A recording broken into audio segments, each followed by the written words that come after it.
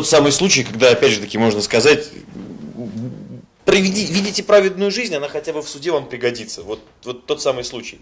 Нет, на самом деле, из того, что есть, сейчас остается только мне одно. Отбыть все, что мне дали, а потом уже, чтобы не смотрели, что я пытаюсь избежать наказания, за свои права бороться. Вот Сколько и все. тебе еще осталось там? Осталось По еще мне полгода сидеть.